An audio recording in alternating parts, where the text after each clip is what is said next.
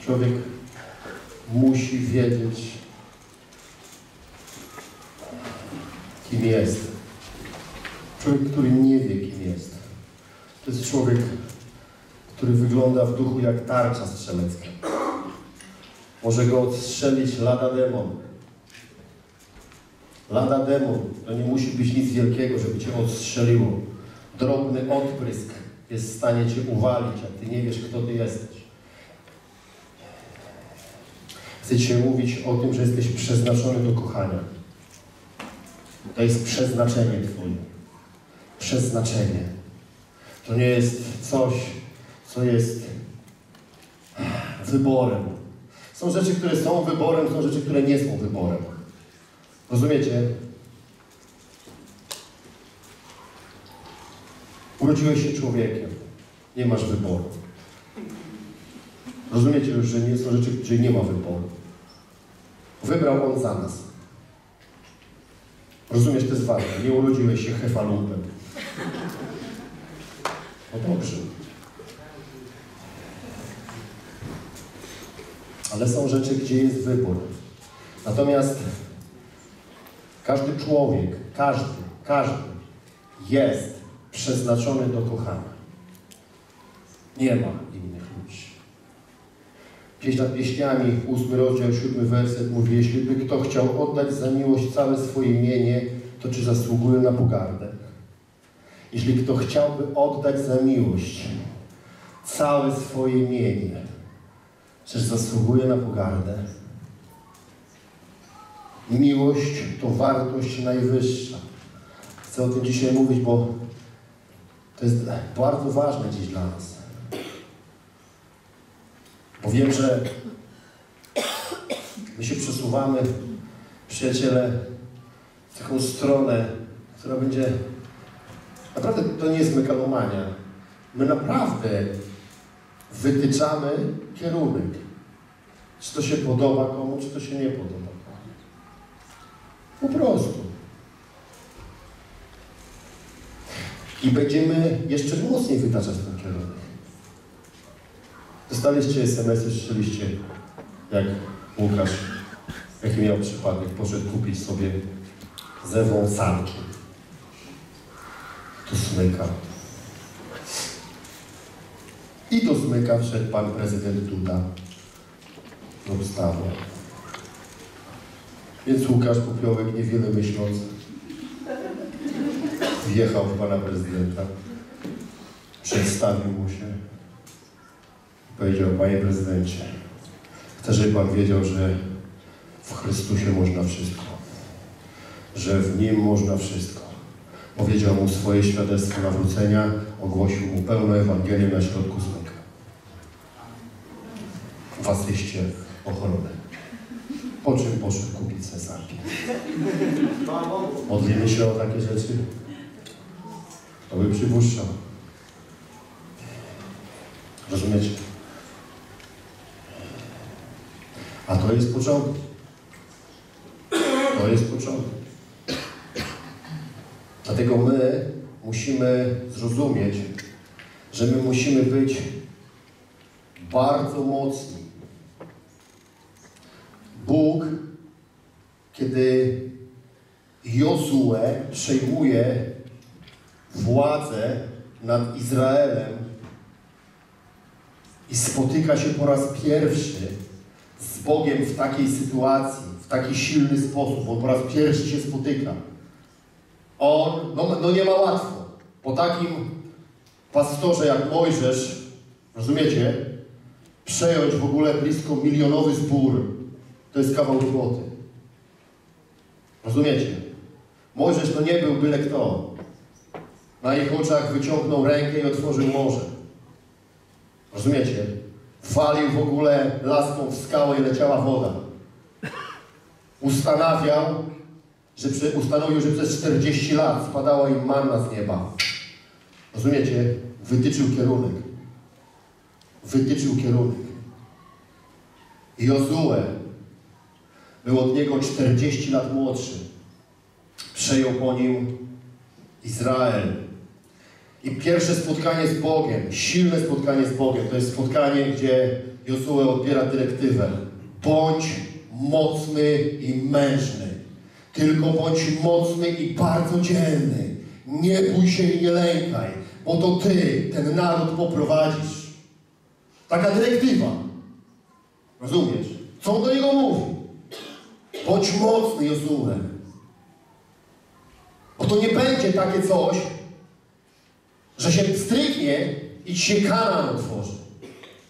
Ja będę z Tobą, ale to Ciebie będą chcieli zabić, a nie mnie. Wiesz o co chodzi? Bóg jest z Tobą, ale to Ciebie będzie diabeł chciał zabić, a nie Boga. To Ciebie, a nie Boga. To Ty masz być mocny i mężny. To Ty masz nie bać się i nie lękać. To nie tak działa, że to może zrobić za Ciebie Bóg. Dlatego chcę mówić o miłości, bo miłość jest najpotężniejszą siłą we wszechświecie. Rozumiecie to?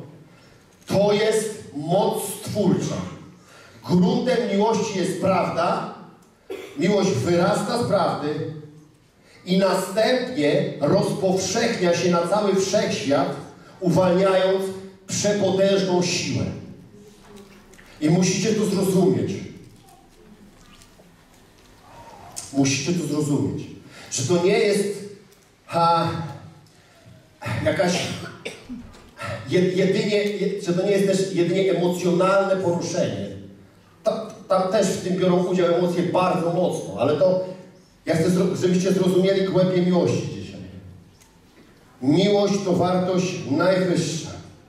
W pierwszym liście do Koryntian 13:13 13 jest napisane największa jest miłość. Największa. Największa jest miłość. Tam jest wiara, nadzieja i miłość. Wiara i nadzieja są przyporządkowane obecnemu czasowi. Czasowi teraźniejszemu. One są potrzebne na ziemi. Uczymy wiary, dlatego żeby ludzie na ziemi zwyciężali. Rozumiecie? Wzbudzamy nadzieję, aby ludzie na ziemi, tak, widzieli, jaka jest ich przyszłość, jaki sukces mogą osiągnąć. Ale to miłość jest wartością nadrzędną. Ona jest wieczna. W niebie nie będzie wiary i nie będzie nadziei. Wiara i nadzieja w niebie nie będą Ci potrzebne. Nie będziesz musiał wyznawać, proklamować, mówić w innych językach, prorokować. To Ci nie będzie potrzebne. Nie będziesz uzdrawiał chorych. Nie będziesz też wypędzał demonów. Rozumiesz o co chodzi? Nie będziesz skrzeszał zmartwych. Nie będziesz głosił Ewangelii. Po prostu nie. Ten temat się zamyka na poziomie ziemi. Tam w niebie nie będziesz ewangelistą, apostołem, prorokiem, nauczycielem. Absolutnie. Tam nie będzie takich rzeczy. Tam będą natomiast, tak, pewne ustawienia hierarchiczne. Z uwagi na co? Z uwagi na to, jak kochałeś. Osądzony zostaniesz przez miłość. To miłość cię osądzi. Taki wyrok dostaniesz, rozumiesz, jak kochałeś i dałeś się kochać. Zrozumcie to, to jest bardzo ważne. Taki wyrok otrzymasz na podstawie tego, jak kochałeś tu na ziemi i jak dałeś się kochać. Oto jest wartość najwyższa. Miłość jest wieczna. Wiara i nadzieja są doczesne. Pamiętajcie o tym. Pierwszy list do Koryntian 14.1 mówi dążcie do miłości. A więc do miłości trzeba dążyć. Trzeba jej szukać w sobie i w innych. Miłości trzeba szukać. Musisz się modlić i powiedzieć, Panie Boże mój, ja wiem, że cała Boża miłość jest we mnie, ale ja teraz muszę odnaleźć ją. Ja muszę ją odnaleźć przetransportować do mojego umysłu, do moich emocji, do moich decyzji, do mojego ciała. Ja też muszę odnajdować ją w innych ludziach. To wielkie zadanie. Ja szukam miłości. Szukam. Rozumiecie? Jak półterier. Hmm. Szukam jej. Węszę za nią. Nie zostawiam tego tak, o, przydarzy mi się. Rozumiesz? Przydarzy to się diabeł może. Rozumiesz? Może przydarzyć. Dążcie do miłości. Szukajcie jej. Dlaczego my pracujemy nad sobą? Czemu pracujemy nad duszami swoimi? Bo musimy się przebić do miejsc, tak? Które muszą być zagospodarowane miłośnie. Rozumiecie? Bo one są pochorowane. Tam miłość nie zagościła. Tam zagościł system tego świata. Okay? Takie rzeczy są, różne rzeczy zagościły tam, ale nie miłość. Trzeba je uzdrowić, trzeba je postawić na nogi, te miejsca. Bo one muszą być naczyniami, w których miłość będzie mogła zaistnieć. Trzeba ją tam wprowadzić. Trzeba pozwolić, aby te elementy zaczęły żyć tą miłością.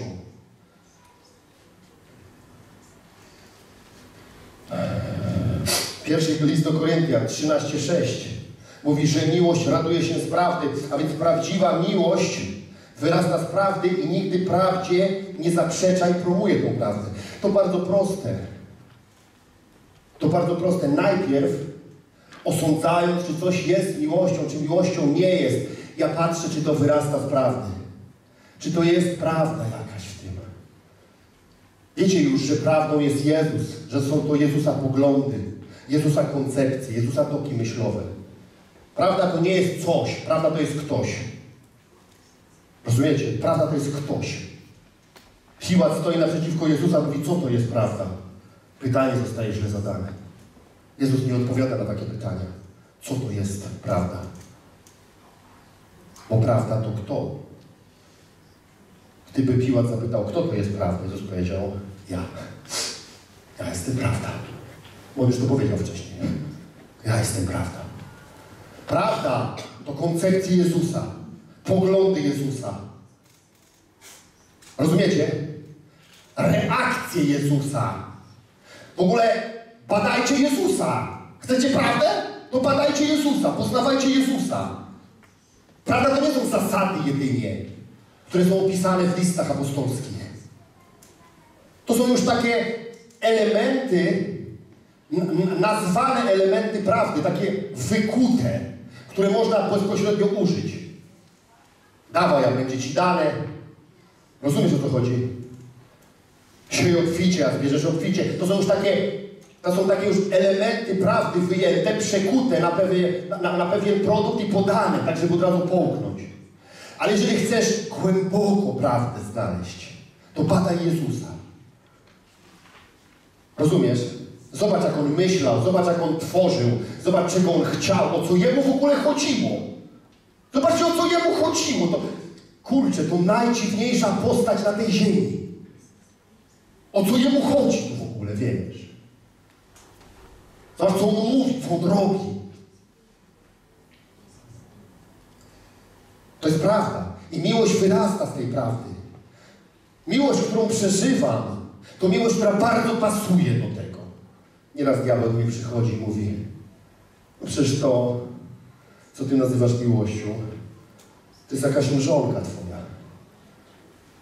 I podaje mi szereg intelektualnych wyjaśnień. Och, jaki to jest intelektualista człowieku.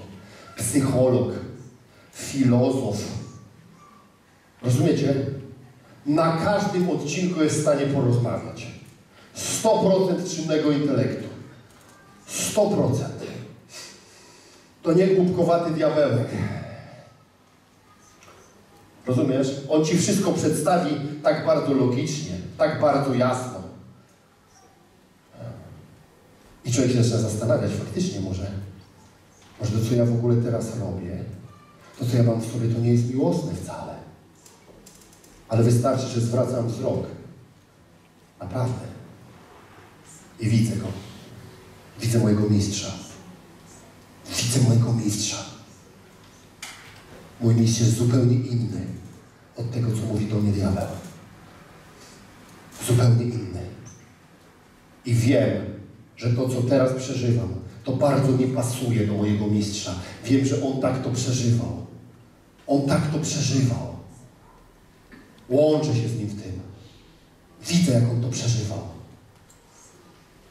Widzę, co jemu sprawiało przyjemność, czego on chciał, z czym się kłócił, z czym się nie kłócił, na co zwracał uwagę, na co nie. Mnie rozwala na to, na co Jezus uwagi w ogóle nie zwracał. Jezus to był tak niemoralny, że się w głowie nie mieści. Ja nie znam bardziej niemoralnej postaci. Szok. Człowieku. Zobacz w ogóle, co on robi, ten człowiek. Pierwsza, początek służby zaczyna się od imprezy, gdzie narobił 600 litrów wina. Schlali się wszyscy jak popry człowieku. Początek służby Jezusa. A taki pierwszy cud uczynił w Kanie Galilejskiej. Koniec. Zaczął. Mesjasz wjechał.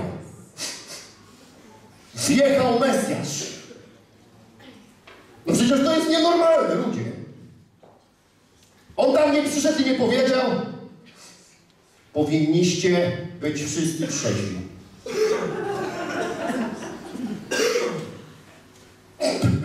On zrobił 600 litrów wina. Bez akcyzy. I to jeszcze najlepszego. Co to tam było? A jak on sobie ekipę zmontował? Zauważyliście, z kim on chodził w ogóle? Co to w ogóle było? Od razu dostał przydomek, że to jest przyjaciel złodziei i prostytutek. Celników, wszelkiego elementu patologiczno-wywrotowego. On się wziął z nimi zaprzyjaźnił. Ty, porządny, taki porządny miał być. Wiecie, w ogóle Jezus był nieprzyjmowalny przez religię, dlatego że On nie trzymał w ogóle się tego, co religia nazywała moralnością. Faryzeusze, sadyceusze, oni byli w ogóle z daleka od tego plebsu. Mówili, ten plebs, ten motłoch tylko w niego wierzy. Wiecie o co chodzi? On taki był, Jezus. W ogóle inaczej patrzył na wszystko. Nie przejmował się po ciebie, że tam kobiety podbierały pieniądze swoim mężom, przynosiły mu i wkładli do woreczka. Mu to nie przeszkadzało w ogóle. To w ogóle wiesz. Prawo mówiło tak. Nie wniesiesz do świątyni zapłaty za morderstwo psa w ogóle i tak dalej. Czyli wszelkiego nieuczciwego majątku, nie? No Jezus nie mówi to. Chcesz siać w królestwie? To i tak krew obmyje. On wierzył w krew swoją własną. On bardziej wierzył w swoją krew niż w moralny system. Rozumiecie, o co tu chodzi? To jest w ogóle coś nienormalnego. Mesjasz przyszedł. Mesjasz. Człowieku. A wymknął się spod kontroli w ogóle. A to jest prawda. I on swoje poglądy teraz. To jest takie, mówi. To jest takie. To jest takie. Trzymaj się tego. Trzymaj się Jezusa. Sprawdzaj swoją miłość, to co przeżywasz z Jezusem. Z tym, co On przeżywał, czego On nauczał, co On proponował. Rozumiesz? Jakie On miał podejście do wszystkiego. Przyglądaj się temu przez pryzmat Ducha Świętego. Na, nie literalnie, ale przez pryzmat Ducha Świętego. A więc prawdziwa miłość wyrasta z prawdy. Nigdy prawdzie nie zaprzecza i promuje prawdę. Promuje ją. Nieraz diabeł przychodził do mnie i mówi teraz to już po twoim namaszczeniu jest. Uuu. Już się pogrzebałeś. A ja przez lata wierzyłem takim rzeczom. Rozumiesz? Mówię po mnie już. Już po służbie, już po wszystkim. Ale wiernie jechałem i robiłem swoje. I wiecie co? Nigdy żadnej porażki. Nigdy. Pamiętam jak pierwszy kościół założyliśmy. My się non-stop kłóciliśmy za gadem. Non-stop. Non-stop. Cały czas się kłóciliśmy. No może czasem się nie kłóciliśmy, ale to były takie rzadkie przypadki. Nie, nie, nie odzywaliśmy się dzień. Na przykład. Niedziela przychodziła, mam iść głosić kazanie. Wiesz o co chodzi. A ja mam w głowie człowieku takie szambo, że nie pytaj. Wiesz. Ona przychodziła i mówi, wybaczam ci, idź głoś. Dalej się nie odzywaliśmy.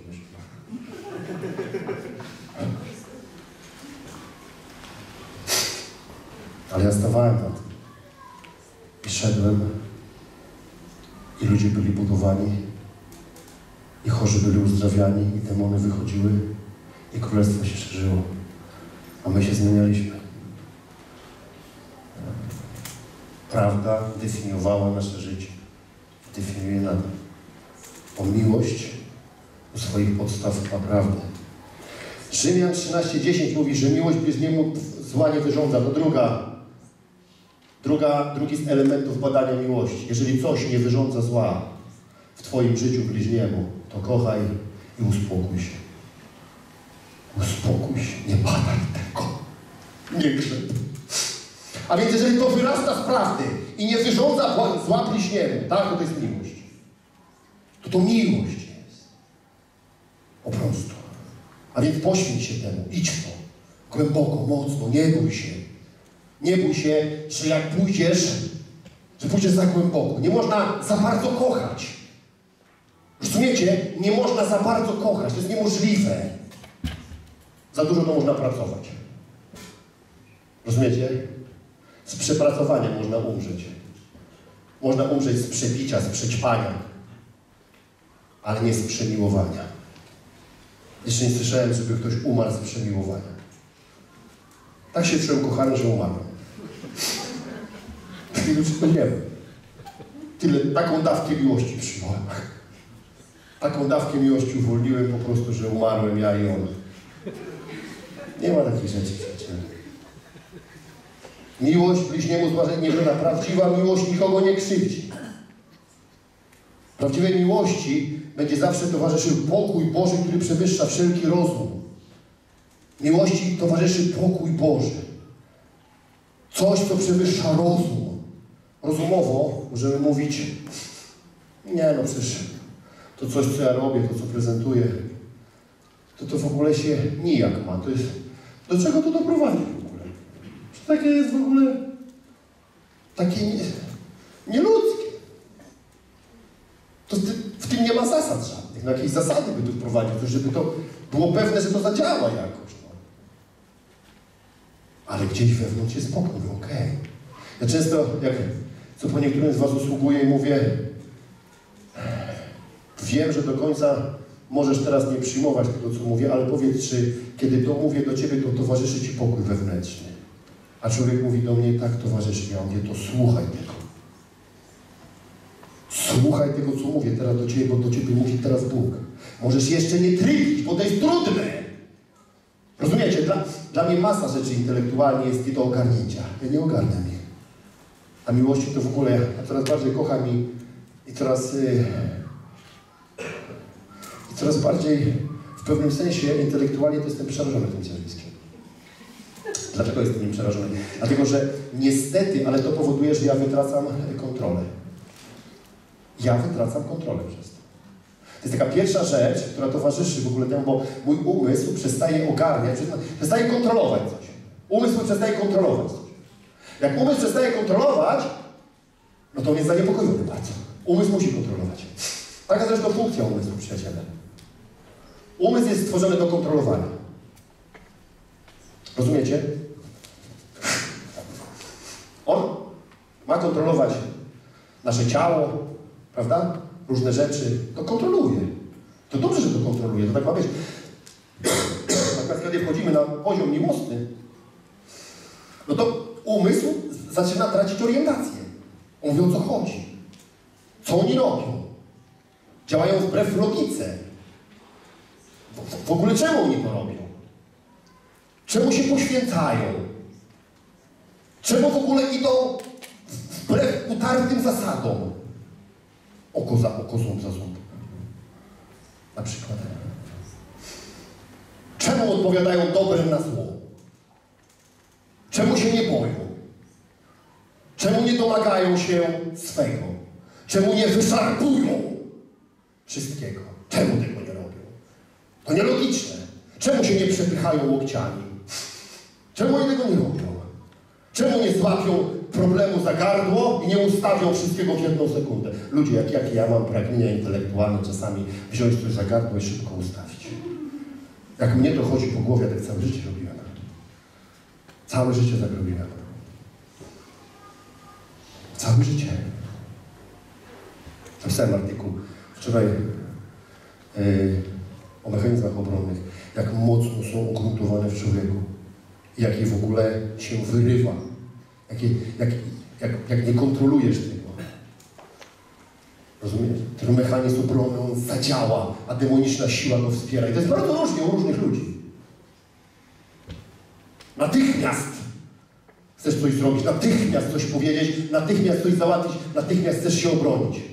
Natychmiast gdzieś z wnętrza ciebie to idzie z gdzieś. Rozumiesz, o co chodzi? A miłość nielogicznie działa. Miłość mówi, zostaw to. Weź, wyluzuj. Jak wyluzuj? Sytuacja jest napięta w ogóle, rozumiesz, bardzo mocno napięta. Jak struny w anielskich tych harfach. A tu kochaj. Zrób coś takiego, co jest w ogóle, nie lubię, w ogóle zostaw, odpuść. Przytul się. Bądź. Rozumiecie? A to w tym jest siła.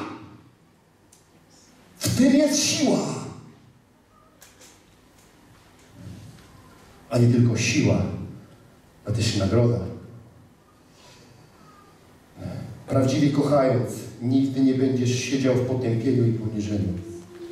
Nigdy. Wiesz, po czym się rozpoznaje realną miłość? Tam nie ma żadnego potępienia i poniżenia. Kochasz i tyle. Wszyscy mówią, nie powinieneś. Nie powinieneś tak. Czuj się gorzej. Nie powinieneś. To nienormalne. Często przychodzą do mnie ludzie, niektórzy z Was też, i mówią, czy ten, mówią mi o, mówię o tych, co szukają sobie męża czy żony, i mówią, Artur, jak Ty myślisz, czy on jest dla mnie, czy ona jest dla mnie? Jak myślisz? Ja nic Ci nie powiem. Ale jak myślisz? No przecież znasz go, znasz ją. No znam. No to... Mm. Dlaczego nie powiesz? Mówię, bo ci życie. Dlatego nie powiem właśnie. Bo ci życie spieprzę. Bo ty musisz sercem tego dotknąć. Ty musisz po prostu poznać sercem. Ty nie możesz się oprzeć na mojej opinii tego. No ale wiesz, co ci mówi Pan. Właśnie to mi mówi Pan. Bardzo wyraźnie go słyszę. Że ci spieprzę życie, jak ci poradzę. To mi mówi Pan. Że to miłosne ma być. Co to jest, ludzie? Przecież małżeństwo to jest kontrakt? Co to jest? Kontrakt? Kontrakty na zachowanie to ja podpisuję z niektórymi niesfornymi braćmi i siostrami, jak na terapię przychodzą. To kontrakt na zachowanie podpisuję. Rozumiesz? Specjalnie sformułowany, własnoręczny, potem im się każe na pamięć nauczyć. To jest kontrakt na zachowanie. Rozumiecie? Ale małżeństwo to nie jest kontrakt na zachowanie. Małżeństwo to nie jest małżeństwo z rozsądku. Małżeństwo to nie jest małżeństwo obliczenie kosztów, straty zysków. Wiesz o co chodzi? To nie jest, to nie o to chodzi. Jest miłosne, tak? A, małżeństwo. W ogóle każda relacja. Małżeństwo to jest jeden z elementów w ogóle jakiś tam sobie gdzieś. Każda relacja. Miłosna musi być. Nie będzie miłosna, to będzie żadna. I to nigdy Cię nie poniży, nigdy się nie potępi. Nigdy Cię nie poniży i nigdy Cię nie potępi coś, co jest prawdziwie miłosnego. Rozumiesz? A diabeł zawsze Cię będzie chciał wkręcić. Tak nie można. Tylko nie, wiesz, że miłości nie ma czegoś nie można. Miłość jest ponad prawem. Miłość nie funkcjonuje, żadne prawo.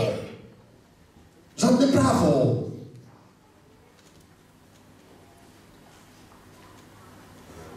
Prawdziwa miłość nie zniszczy cię. Nigdy. Rozumiecie? Miłość cię nie zniszczy. Miłość nie niszczy. Miłość to nie jest niszczycielska siła. Miłość to jest życiodajna siła. To coś, co dodaje życia. Ja im bardziej kocham, tym mocniej żyję. Chcę, żebyście się tego nie bali. Dlatego, że my, ludzie ruchów charyzmatycznych, ludzie ruchów pełnej, pełnej Ewangelii, ludzie ruchów wiary, jesteśmy ludźmi, którzy bardzo łatwo, rozumiecie, przechodzą w system techniczny życia. To jest techniczny system życia. Jesteśmy profesjonalistami duchowymi. Profesjonalistami. My wszystko wiemy. Jesteśmy Koryntianie do potęgi N. Wszystko wiemy. Wiemy jak wierzyć, wiemy jak działać, wiemy kto ma demony, wiemy kto jest czarownikiem. Od razu da się, że ten jest czarownik, ten jest taki, że wszyscy swoje nazwy mają. W kościele, tak. Tu każdy każdego widzi dokładnie, w czach, cach, cach, cach, w porządku. Ja nie mówię, że ty nie masz widzenia duchowego. Ja mówię, że tak się nie określa drugiego człowieka. Ore, ok? Obojętnie jakie świństwo przez człowieka działa, tak? To człowieka się określa przez pryzmat miłości. Jak się nauczysz człowieka określać przez pryzmat miłości, to będziesz zadziwiony, jak ci się duchowe widzenie pomniejszy. Bo w mojej Biblii jest napisane, że miłość zakrywa wiele grzechów.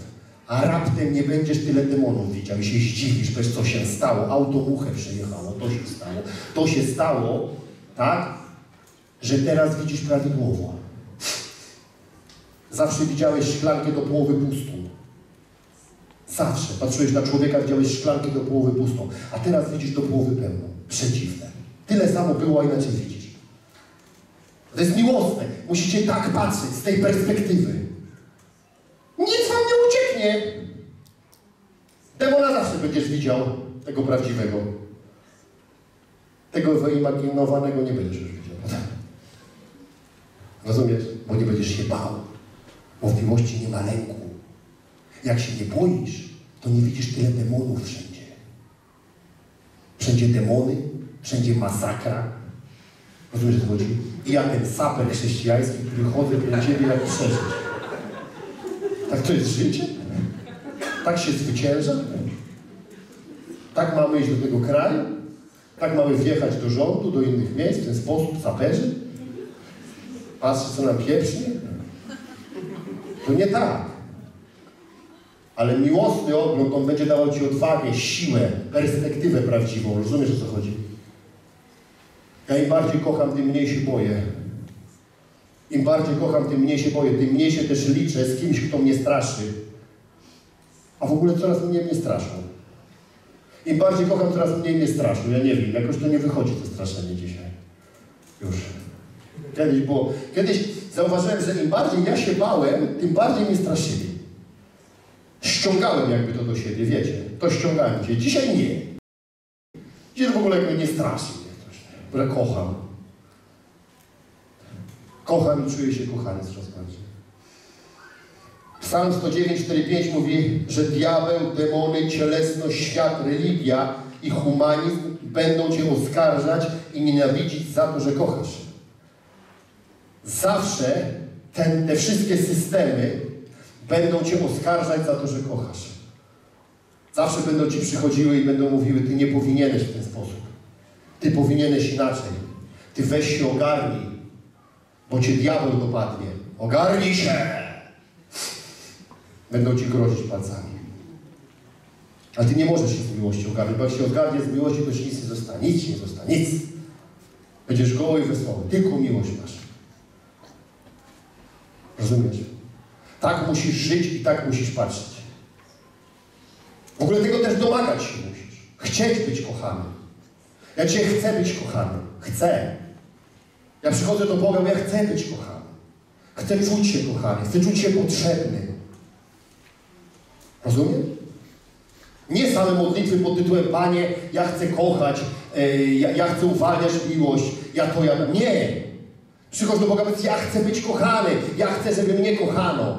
Ja chcę, żeby wianuszek ludzi wokół mnie uwalniał miłość Chrystusową do mojego życia. Dlatego potrzebuję w ogóle jak powietrza, jak wody, jak jedzenia. Nie bój się tego. To nie uczyni cię kimś miękkim. Ty jesteś już tak twardy, człowieku, że na tobie sobie diabeł pazury może połamać, rozumiesz? I tego nic nie zmieni. Ludzie, my się nie możemy rozmiękczyć. Mamy duchy stalowe. Rozumiesz? Jak się ma stalowego ducha, to nasza dusza może być z plastyliny zrobiona. Nie bój się tego. Rozumiesz? Naprawdę. No nie bój się, że coś ci się stanie. Nic ci się nie stanie. Wiesz, ja przez lata studiowania Księgi Hioba zacząłem zupełnie inną rzecz niż na początku.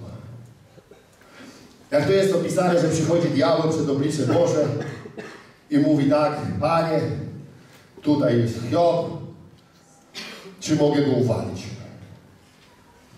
I odpowiedź mi, proszę bardzo. To nie jest problem. Wjeżdżaj w Hioba. Wiecie, wszyscy, że a, jaki to Bóg? Profesjonalista. Dlaczego? Bo ja zawsze mówię, im głębiej chodzisz w Duchu Świętym, tym bardziej uczysz się czytać w Biblii te białe elementy. Nie tylko te czarne. Te czarne to wszyscy umieją czytać. A w Duchu Świętym zaczynasz czytać te białe. Jak już będziesz czytał te białe, to dobrze czytasz. Tam Bóg mówi tak. Wiedź w Hioba.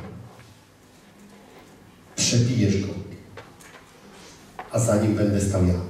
I nami sobie roztrzaskasz łeb. Mój sprawiedliwy. Oto mój Hiob. Oto mój Hiob. Co to znaczy mój Hiob? Ja jestem z Hiobem, a zatem wjeżdżaj w Hioba. Come on.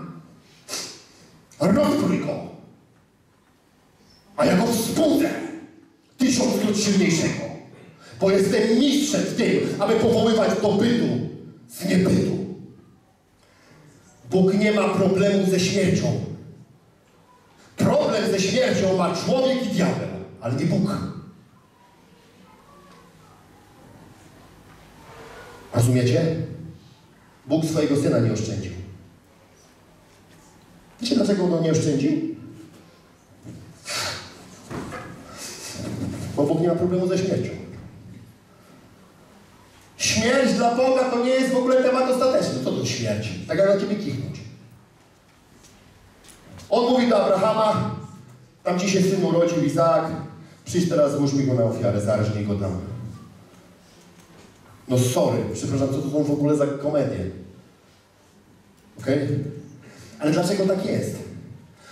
Bo my krzywo patrzymy. My patrzymy na śmierć z perspektywy grobu, od spodu. Widzimy tylko ciemność, robaki i smród. A Bóg patrzy z perspektywy nieba. Rozumiecie? Dla Niego śmierć to nie jest koniec. No to z tego? Śmierć. Wielka sprawa. Kiedyś postanowiłem zgłębić temat łysienia. Była to moja osobista sprawa. Nie miałem kompleksów, ale mówię, chciałbym poznać dogłębną duchową genezę łysienia. Więc zacząłem studiować Biblię. Przestudiowałem wszystko na temat łysienia. Niewiele tego było, a mianowicie jeden werset. Miałem on tak. Kto jest łysy, ten jest łysy. Dobrze, mówię Boże. Generalnie nic specjalnego. Nie ma w tym żadnej głębi. Żadnej głębi w tym nie ma. Nic. Rozumiecie? Tak jak ze śmiercią. O, gdzie jest o śmierci żądło Twoje? Pyta Paweł. No gdzie? Co to jest? On mówi z perspektywy nieba, to mówi Bóg. Co to jest śmierć w ogóle? O co chodzi wam wszystkim? Czego taka stracka ogólna? Nie wiem, nie wiem o co chodzi. Uderz w Hioba, natkniesz się na mnie. Rozumiecie? Diabeł zawsze będzie chciał wykraść ci miłość będzie chciał ci to zabrać, bo wie, że to jest mega niebezpieczne. Bo wie, że kiedy ty będziesz kochał, kiedy będziesz uwalniał na maksa miłość, to ty jesteś nieśmiertelny, ciebie nic nie rusza. Nie rusza cię diabeł, nie ruszają demony, nie rusza świat, opinia ludzka cię nie rusza, nic cię nie rusza. Nic cię nie rusza, nic. Bo co? Bo ty kochasz. Bo ty kochasz. I mówisz, co możesz zrobić? Jak ty to zwyciężysz, diable? Jak ty to zwyciężysz w świecie? Co ty mi w ogóle powiesz, opinio ludzka? Co, co, co? Co ty mi powiesz? Rozumiecie, chcę was, żebyście zrozumieli, dlaczego to jest tak ważne. Pieśń nad pieśniami, ósmy rozdział, szósty werset mówi Połóż mnie jak pieczęć na swoim sercu, jak obrączkę na swoim ramieniu. Albowiem miłość jest mocna jak śmierć, namiętność twarda jak szeol. Jej żar to żar ognia, to płomień Pana. Od, od, kiedy odrodziłeś się z Bożego Ducha, to Twoim przeznaczeniem stało się kochanie. Ty musisz sobie zadać pytanie, czy zdecydujesz się kochać na maksa? Czy zdecydujesz się na maksa kochać? Czy zaryzykujesz? Czy odważysz się wszystko położyć na poczet miłości? Nie próbuj tego zrozumieć. Pytanie, czy odważysz się w duchu? Czy powiesz w ogóle przed Bogiem Boże, ja odważę się kochać. Ja powiedziałem to. Wiesz dlaczego do Was dzisiaj mówię to poselstwo? Bo ja to powiedziałem. Powiedziałem, ja odważę się kochać Boże. Odważę się. Kurczę, boję się tego. Mam, mam dyskomfort. Bo ja bardzo lubię skontrolować wszystko. Ja bardzo lubię mieć nad wszystkim w ogóle kontrolę. Ja bardzo nie chcę być zależny. Ja bardzo nie chcę się powierzać. Ja boję się być blisko. Rozumiem? Ja, to, są, to są moje przeżycia. Ja mówię, ale ja się decyduję kochać. Ja nie, nie wiem, jak będzie. Ja nie wiem, jak to będzie. Bo, bo, bo ja już tego nie kontroluję. Ja już tego nie wyjaśnię. Ja nie wyjaśnię miłości sobie, nawet sobie samemu. Ok? Nie wyjaśnię jej. Bo, bo, ja nie wiem, jak ja zareaguję w miłości. Ja nie wiem. Ja, ja nie wiem, jak ja zareaguję w miłości. Ja w ogóle w intelekcie to wiem, jak zareagować. Słuchajcie, słowo honoru. Ja sobie, ja sobie w świecie radziłem, to naprawdę... dla, mnie, dla mnie w ogóle w żadnym wypadku e, ani, ani świat w jakimkolwiek wymiarze, ani człowiek, nikt, on nie był problemem. Rozumiecie? Bo ja sobie zawsze znalazłem rozwiązanie. Zawsze. Natomiast kochając, te rozwiązania w ogóle, one przestają być takie jasne. Pewnych rzeczy nie przetłumaczysz człowiekowi, pewnych nie wyjaśnisz. Nie obronisz się. Rozumiesz? Już nie obronisz się, a masz cholerną chęć obronienia się. Człowieku, aż w tobie kipi wszystko.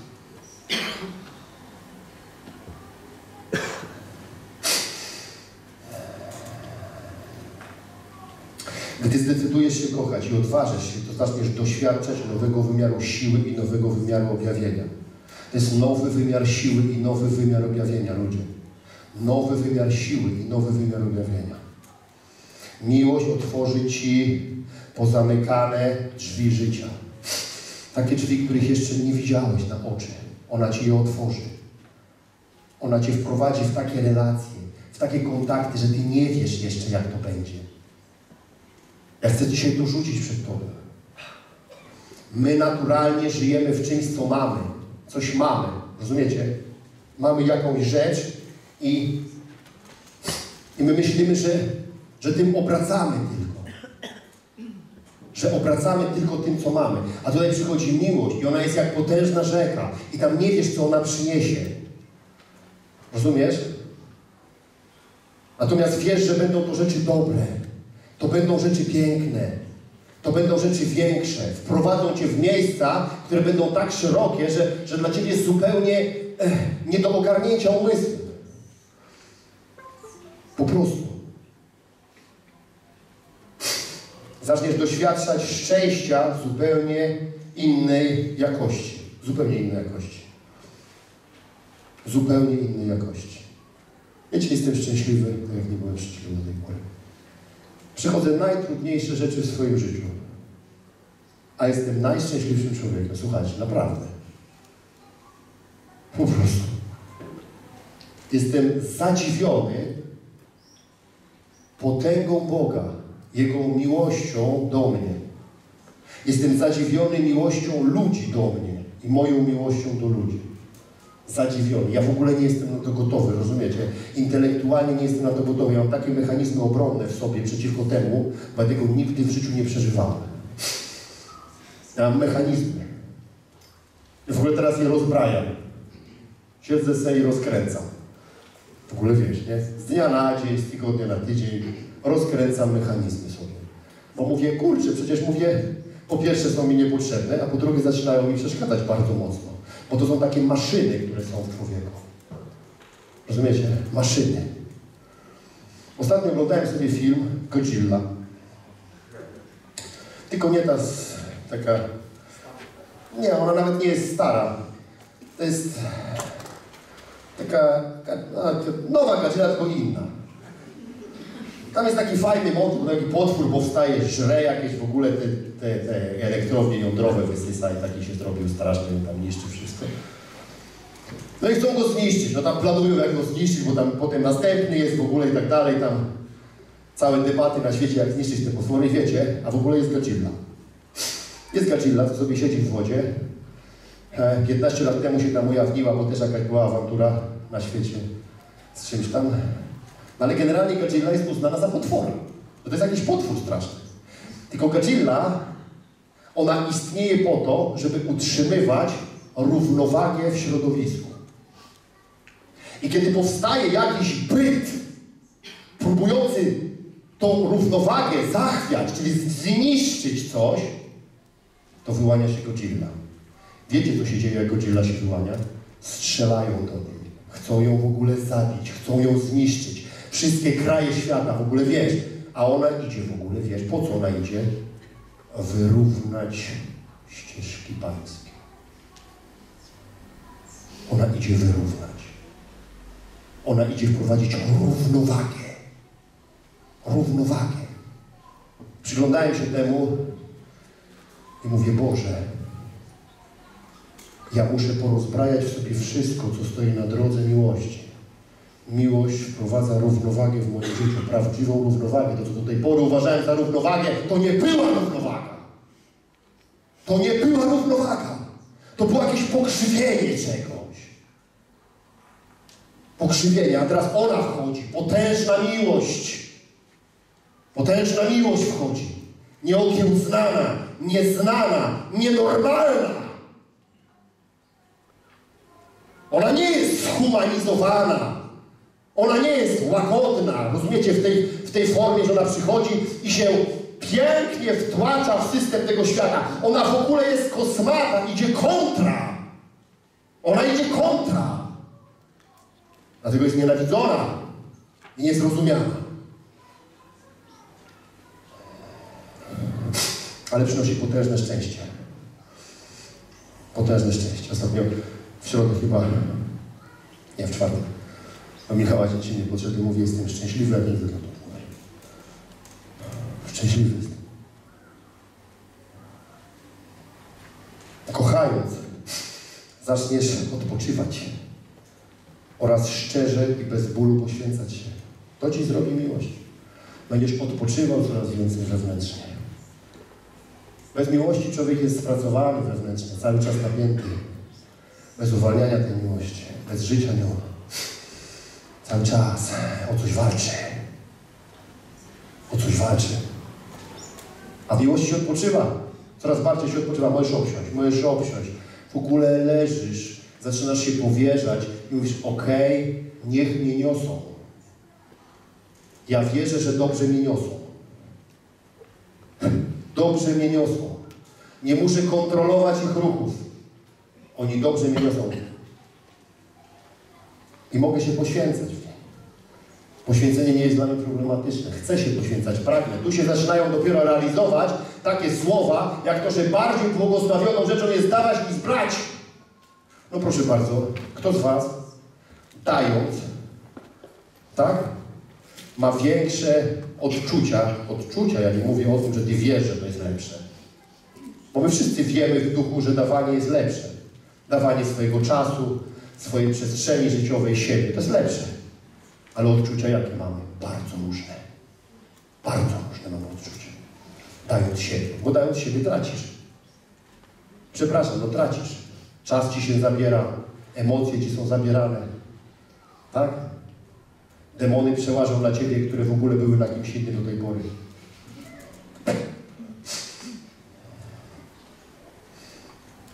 Twoja odwaga zacznie rosnąć, a wierność prawdzie umocni się w Tobie. To będzie miłość powodowała. Odwaga będzie rosnąć, a wierność prawdzie będzie się powiększać. Kochając, będziesz coraz lepiej poznawał siebie i poznawał innych ludzi. Inni ludzie już nie będą dla Ciebie tajemnicą. A pierwszą tajemnicą przestanie być dla Ciebie Twoja osoba. Rozumiesz? Ja dzisiaj jestem fanem człowieka. Fanem człowieka. W ogóle mnie ciekawi człowiek. Ja kiedyś to uważałem, jak jeszcze się nie nawróciłem, to uważałem, że człowiek jest po coś. Dla mnie, ale po coś. Ja mam tego człowieka wykorzystać. Potem jak się nawróciłem, to też był ciekawe, ciekawe, ciekawa historia. Potem jak się nawróciłem, to ja uważałem, że to ja jestem dla człowieka. Takie coś mi się przekręciło, mi się takie kółko jakieś w środku. Teraz ja jestem dla człowieka, teraz ja służę, ja tutaj usługuję, jestem dla człowieka.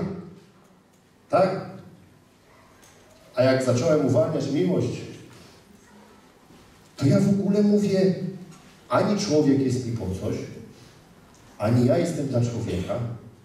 W ogóle jestem głęboko zainteresowany drugim człowiekiem. Chcę go poznawać. Chcę z nim być. Ciekawi. Zacząłem się przyglądać ludziom. Patrzeć na nich. Czasami mi tutaj mówiła, co się patrzysz na kogoś? Tak ja siedziałem gdzieś i się patrzyłem. Obserwowałem wiesz. Takie były moje początki. Patrzyłem, mówię, no jaki ciekawy człowiek. Zaczął mnie interesować wygląd ludzi. Zaczęły mnie interesować jego, ich poglądy. Rozumiecie? Nie dlatego, żeby coś im tam włożyć do głowy swojego, czy coś tam z nich wyjąć. Ani nie chciałem czegoś z nich wyjąć, ani nie chciałem czegoś tam włożyć. Ludzie zaczęli stawać się dla mnie czymś pięknym. Ja uważam, że tak widzi Bóg. Bo Bóg stworzył ludzi dla przyjemności, ani nie chce do czegoś ich wykorzystać, tak? ani nie chce coś w nich zrobić. Taki jest Bóg. Bogu w ogóle nie zależy, żeby coś zrobić przez Ciebie, dla Ciebie czy z Tobą. W ogóle to, to, to bzdury są w ogóle jedne wielkie. Rozumiesz? To wszystko przy okazji się dzieje. Takiego miałem znajomego, mówi do mnie, y, to wszystko skutek uboczny bycia z Bogiem. Mówi Artur, mówi, wszystko. Ja mu tam opowiadałem, wtedy byłem na tym etapie właśnie, że ja coś mogę dla ludzi. Opowiadałem o swoich sukcesach różnych, tutaj głoszę, tu robię, to tamto. A on tak stał i mówi, to wszystko skutek uboczny bycia z Panem. Rozbijał mnie, w ogóle przeszkadzał. Potem przestałem mu mówić o tych rzeczach, bo to w ogóle mnie nie podobał, wiecie o co chodzi. Mówi, wow, i o, tak jak inni, nie? Ale masz cudowne świadectwo, ale super działasz, wiesz. A ja tego potrzebowałem wtedy. Takie dziury w środku.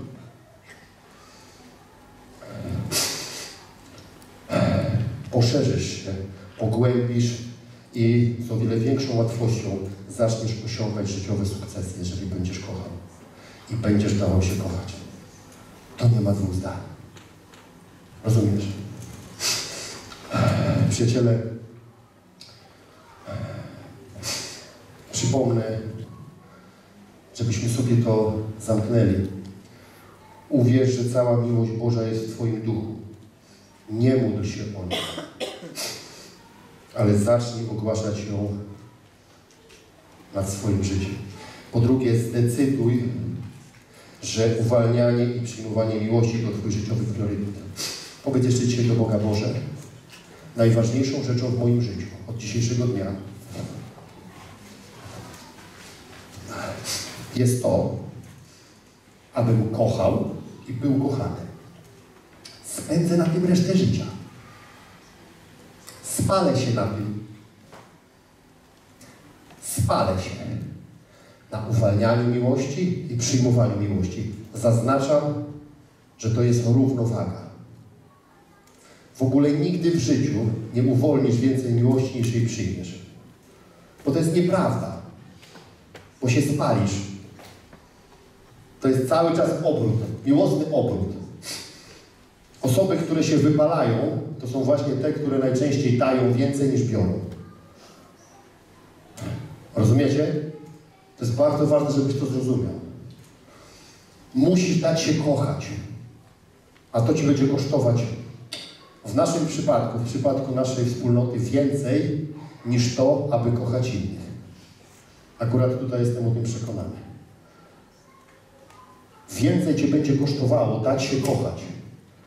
Bo dać się kochać to jest człowieku, okazuje się, że trudniejsza sprawa niż uwalniać miłość, bo dać się kochać jest związane z tym, że Ty musisz przejść na człowieka, Ty musisz przejść na człowieka, Ty musisz wchodzić do jego życia i Ty musisz się domagać jego obecności w Twoim życiu.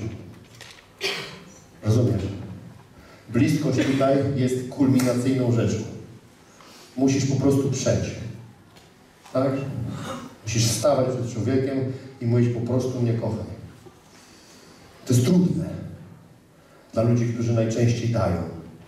A że większość z Was jest w służbie, no to wiecie o czym mówię. Po trzecie, w modlitwie poproś Ducha Świętego, aby wskazać Ci wszystkie przeszkody w Twojej duszy, które stoją na drodze uwalniania i przyjmowania miłości. Niech Duch Święty Ci pokaże te Twoje mechanizmy. Niech On Ci je pokaże. Następnie zdecyduj, że wyeliminujesz wszystkie, wszystkie te przeszkody i będziesz cały czas współpracował z Duchem Świętym, aby nic nie powstało. Aby nic nie powstało. Dalej poproś Ducha Świętego, aby stwarzał Ci miłosne sytuacje. Nie bój się tego. I tutaj zaznaczam, następuje punkt kolejny. Odważnie i zdecydowanie wkraczaj w każdą miłosną sytuację. Praktykuj miłość. Praktykuj ją. Wchodź w to. Diabeł będzie ci tłukł do głowy, zobaczysz, co się wydarzy teraz. Póki jeszcze byłeś na odcinku teorii, ogłaszania, to jeszcze było dobrze. Ale teraz to już jest. Już się władowałeś po uszy w to. Koniec. Nie kontrolujesz tego w ogóle. Zostaniesz tak poraniony, że już się nie podniesiesz. Już się teraz nie podniesiesz. Nie. Już nikt nie pomoże. Wszystko stracisz. Już sobie kop grup. Ale ty musisz tak wchodzić. Powiem tak. Mnie to uskrzydla. Uskrzydla mnie to, ponieważ nie poznałem nic większego, nic silniejszego. Przeszedłem na razie przez swoje, w swoim życiu przez wiele różnych rzeczy, przez wiele różnych zrozumień.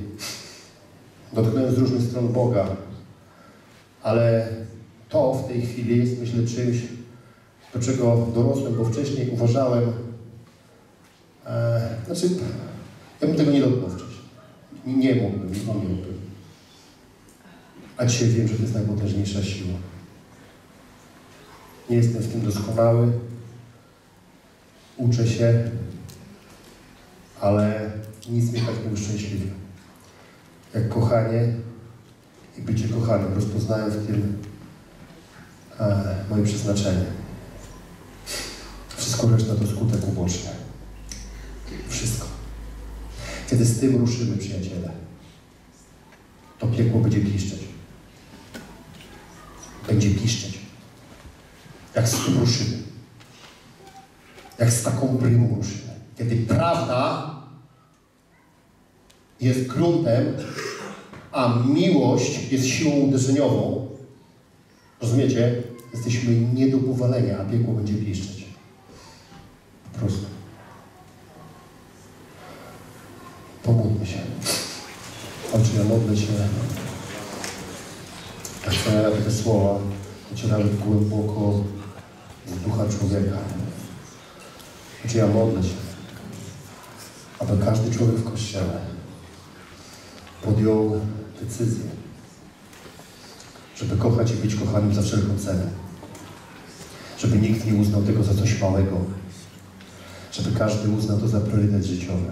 Duchu Święty, dziękuję Ci za to. Ja modlę się teraz, Duchu Święty, żeby potężne objawienie tego, że jesteśmy przeznaczeni do kochania, stało się naszym udziałem każdego dnia. Duchu Święty, ja chcę tego. Duch Święty, ja modlę się o każdego człowieka teraz i usuwam każdą przeszkodę, każdy mechanizm brony. Jezu, Ty nas zbawiłeś. Ty zamieszkałeś w nas. Ty, który jesteś czystą prawdą i czystą miłością. Jezu, ja chcę, żeby każdy człowiek mógł tego doświadczyć. Się modlę odwagę, Ojcze, dla ludzi. Bo to jest silniejsze niż śmierć. Tego nic nie pokona. Nic i nikt. Jezu.